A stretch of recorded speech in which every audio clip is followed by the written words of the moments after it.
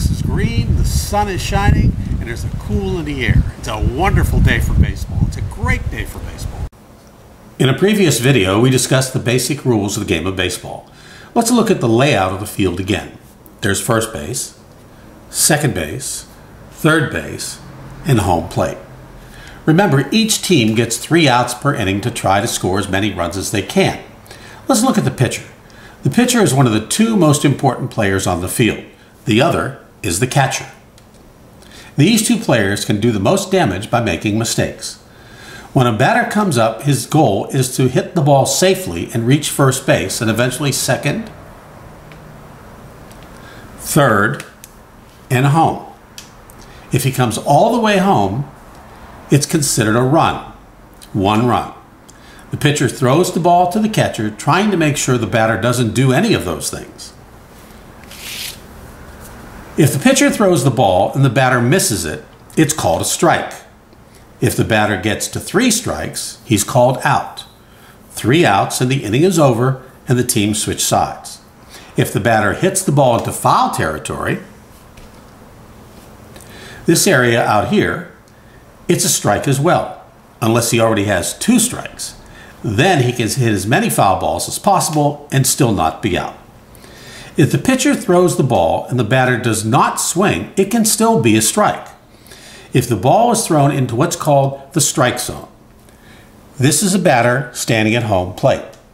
The strike zone is that area between the batter's knees and just below his chest, commonly called the letters, right about the armpits, and the width of home plate. If the ball is thrown into that area and the batter does not swing, it's called a strike. Remember, three strikes and you're out. However, if the pitcher throws the ball and the batter does not swing and the ball is outside of this strike zone, then it's called a ball. If a batter gets a total of four balls, he gets a base on balls, which means he gets to go to first base free of charge, just as if he had gotten a hit safely. Hitting the ball safely means hitting the ball to a place where there is no fielder and the batter reaches first base. This is called a hit. If the batter reaches second base on a hit, it's called a double. If he reaches third base on a hit, it's called a triple. And if he reaches home plate on a trip on a hit, it's called a home run. Usually, that's not the way it works. Usually a home run is when someone hits the ball completely out of the ballpark over these guys' heads and completely out of the ballpark. If that happens, it's called a home run, and he can cautiously or gingerly run around the bases without the fear of being put out. It's a big achievement and difficult to do. If a major league player does this 25 times in a year, he's considered a star. Most major league batters will get the chance to bat about 500 times, and hitting 25 home runs is a very small percentage, as you can see. If the ball is hit out of the park into fair territory, the batter again may casually run around the bases without fear of being put out. That's a home run, and it counts for one run. Now let's get back to the outs. If a batter hits the ball to a fielder on the ground, say say here, to this batter, this fielder, any of these fielders, that fielder has the job to throw to first base and put the man out. If the ball hit on the ground is thrown to first base before the batter reaches first base, the batter's out.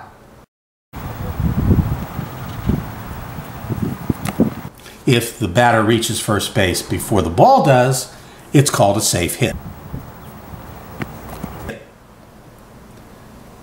Anytime the ball is hit into the air and a fielder catches it before it hits the ground, it's an out. Just like this. If he catches it or he catches it or he catches it before it hits the ground, it's an out.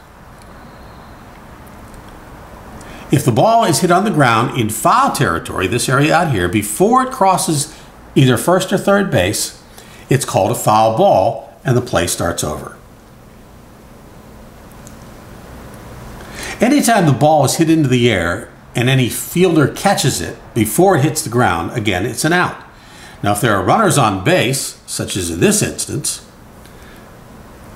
they have the opportunity to run to the next base, but only after the fielder catches it. and only if they go back and do what's called tagging up. So let's say the ball's hit in the air and this man is on second base and he runs down to here. But he knows that this man's going to catch the ball in the air. So he runs back here, steps on the bag, and waits on the bag until this man catches it. As soon as he catches it, he can run, and his attempt would be to third base.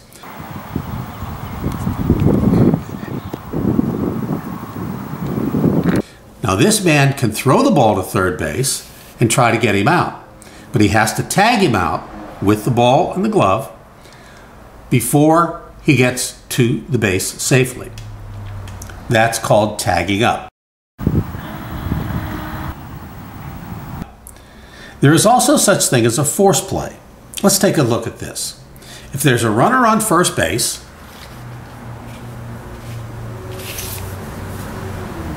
and the ball is hit on the ground, the runner on first base is forced to run to second base. If the fielder throws the ball to somebody at second base before this man gets to the base, this man is out. It's called a force play. It also happens if there are men on first and second base and the force play is at third base. This is a very important part of learning the game. Force outs can be made at any base as long as there is a man on first base, a man on first and second base, or a man on first, second, and third base, which is called the bases are loaded. There are more rules and situations in the game of baseball, but hopefully this gives you the basics to understand the game in its simplest form. Stay tuned for more videos on the fundamentals of the game, including playing the outfield, playing first base, playing catcher. Keep at it, because baseball is a wonderful game.